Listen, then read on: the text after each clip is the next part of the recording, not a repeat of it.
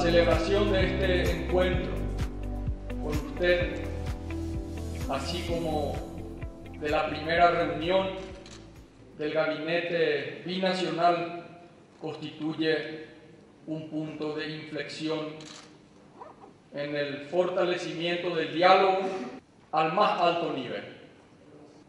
El trabajo mancomunado de empresarios paraguayos y bolivianos redundará sin lugar a dudas en la generación de empleo, la lucha contra la pobreza y la reducción de la desigualdad constituyen una prioridad y un desafío común que exige nuestro más firme compromiso.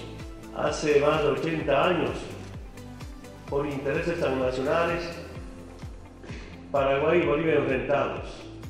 Ahora, gracias a nuestros pueblos, Paraguay y Bolivia integrados.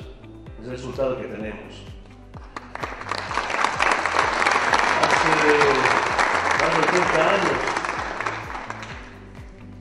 por saqueo a nuestros recursos naturales, Paraguay y Bolivia en guerra. Ahora, en paz, pero fundamentalmente trabajando la igualdad, el desarrollo de nuestros pueblos.